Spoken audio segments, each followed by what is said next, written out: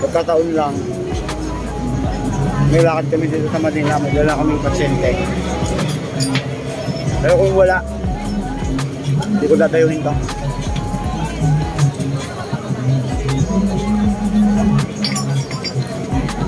Makikigatas lang tayo guys. What's up guys? Kami ay kakain. Kain na kami kay Diwata Paris Overload.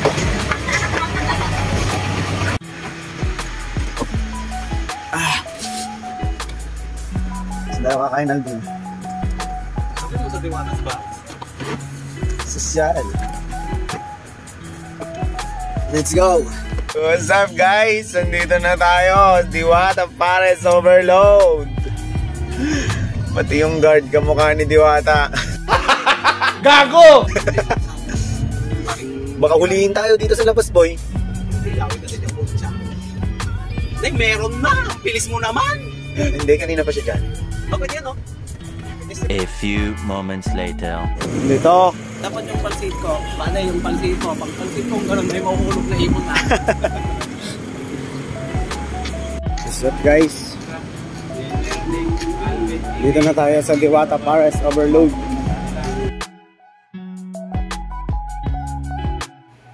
Dito nga guys, eh, romampa na kami agad. Hinanap na namin kung saan pipila ng pag-orderan ng pagkain kasi talagang gutom na gutom na kami. As in, kalayo ko yung pinanggalingan namin.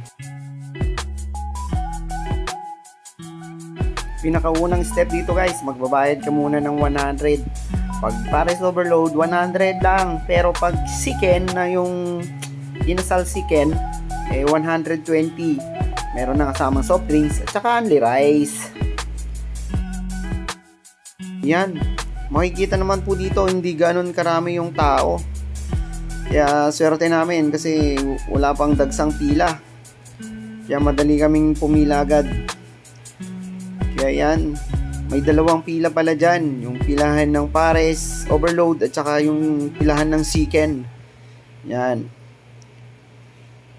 Makikita nyo naman, kokonti pa yung pila dito. Mmm, sarap ng kanin. Chicken.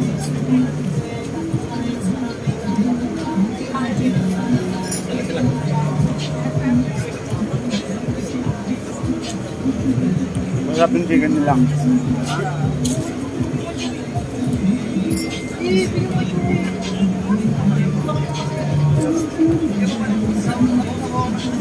Honest review guys, masarap.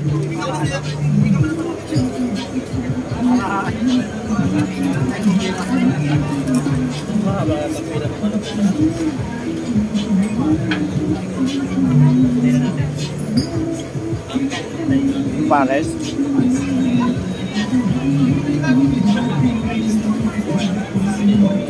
Sarap din yung pares guys.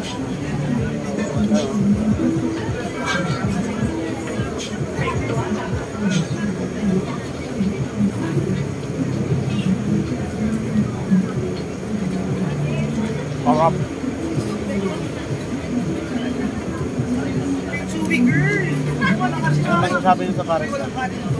Sarap. Sarap. Sulit na sulit yung 100. Pero kung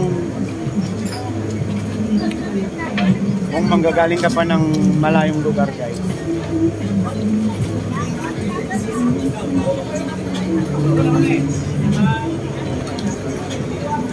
Magharap ka na lang ng parisan na mas malapit.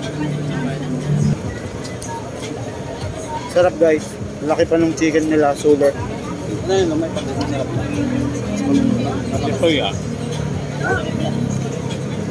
Umalat. Kaya nga konting talagang Maalat na.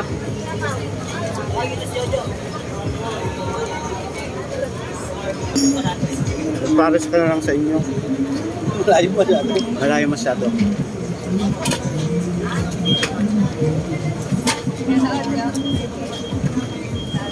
Pero honest review, masarap yung pares at saka yung chicken. Parang inasal.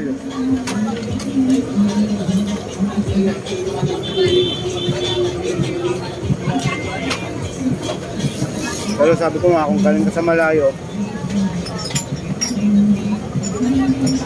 magparas ka na lang sa banyo. Kasi kung galing ka sa malayo, para lang dayuhin tong pares na to.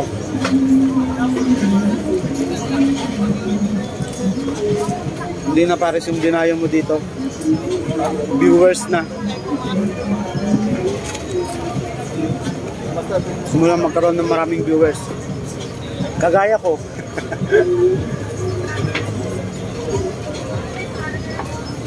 Pagkataon lang,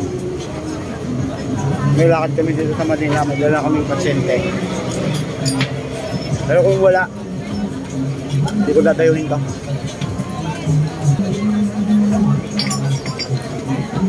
Makikigatas lang tayo guys. Pero kung around ka lang nung lugar, sulit na sulit yung tandaan. Masarap din yung pares talaga. Pero kung galing nga ng probinsya, huwag ka nang dumayo. Pares ka na lang sa probinsya mo. Mm. Kaya guys, yung mga nagbabalak pumunta dito, huwag kayong mag-expect ng sobra. Kasi talagang typical lang siya na pares. Walang special. Yung lasa ng pares nila dito guys, matamis. Pero overload talaga. Ngayon, na-unload na. Ayun o.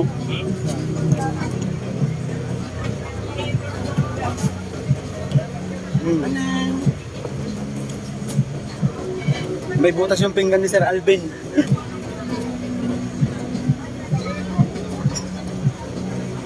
Mmm, sarap.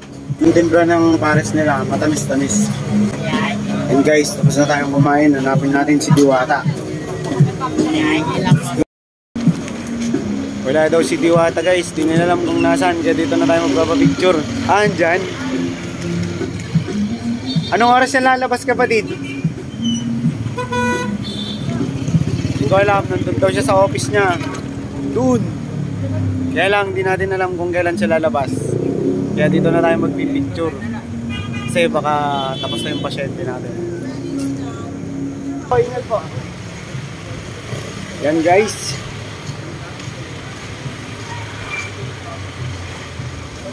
Kapatid, kanina ka pa ba dyan? Picture tayo. Hello, Yan. magandang uh, tanghali sa inyo. Shoutout Diwata, mabuhay. Bayani, Yan. Bayani, Diwata. Matagal ka na dito kapatid. Uh, dito lang ako, eh hanap po ako si Diwata. Oh, Siyempre. pang merienda mo. Salamat. Sige kapatid. Magkamukha kayo. Magkamukha po Oo. kami. Magkamukha daw kami. Baka kapatid ko pang nawawala. Sige, Nice Dol. to meet you ha. Sige po.